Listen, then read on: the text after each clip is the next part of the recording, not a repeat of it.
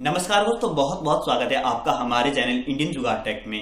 दोस्तों, मोबाइल यहाँ पर होने वाले महँगे, लेकिन सभी मोबाइल्स महँगे नहीं होने वाले हैं, और कौन कौन से मोबाइल महँगे होने वाले, और ये किस लिए महँगे होने जा रहे हैं? आज के इस वीडियो में आपको सारी डिटेल बताने वाला हूँ कि किस लिए ऐसा होने जा रहा है। तो चलिए दोस्तों, शुरू करते हैं आज का वीडियो।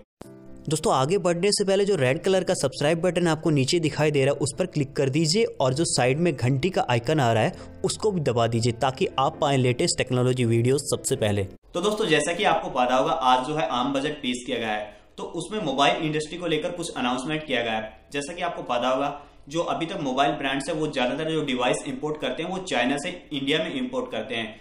तो जब वहाँ पर कोई भी प्रोडक्ट इंपोर्ट किया जाता है तो वहाँ पर उनको कुछ कस्टम चार्जेस पे करने होते हैं, यानी कि कुछ इंपोर्ट ड्यूटी टैक्स वहाँ पर पे करना होता है। तो वो जो चार्जेस थे, वो पहले 10 परसेंट से 15 परसेंट बढ़ाए गए थे, यानी कि पहले 10 परसेंट ये जो है कस्टम ड्यूटी चार्जेस पे करने पड़ते थे। दिसंबर 2017 में मोबाइल पर जो कस्टम चार्ज लगता था, उसको यहाँ पर बढ़ाया गया था 10 परसेंट से 15 परसेंट किया गया था। लेकिन अब इस बजट में दोबारा से इस कस्टम चार्जेस को बढ़ा दिया गया है 15 परसेंट से 20 परसेंट इसका सीधा सीधा मतलब ये हुआ कि ऐसा प्रोडक्ट जो बाहर से इंडिया में इंपोर्ट किया जाएगा, उसका प्राइस यहाँ पर बढ़ने ही वाला है। आपको पता होगा कि दिसंबर में जब कस्टम ड्यूटी चार्जेस जो है यहाँ पर बढ़ाए गए थे तो उसके बाद में एप्पल ने अपने सभी जो डिवाइस थे, उनका प्राइस इंडिया में बढ़ा दिया था।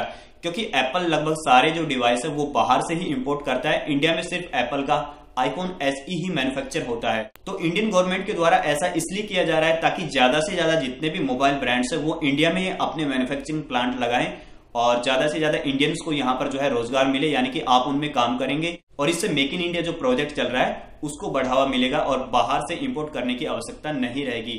ऐसा नहीं है कि सिर्फ़ मोबाइल पर ही जो है कस्टम चार्जेस बढ़ाए गए हैं, जो मोबाइल एसेसरीज होने वाली, उस पर भी जो कस्टम चार्जेस है, वो बढ़ा दिए गए हैं, लगभग फिफ्टीन परसेंट कर दिए गए हैं।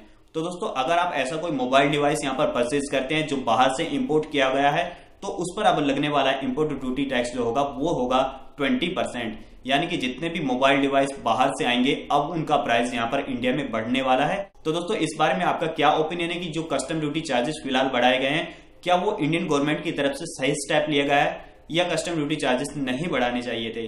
तो दोस्तों, आपका जो भी ओपिनियन है, एक बार इस वीडियो के नीचे कमेंट सेक्शन में ज़रूर कमेंट करें। सो so फ्रेंड्स आज के इस वीडियो में इतना ही। इस वीडियो को ज़्यादा से ज़्यादा शेयर करें। चैनल को सब्सक्राइब करें, वीडियो को लाइक करें धन्यवाद दोस्तों आज का वीडियो देखने के लिए.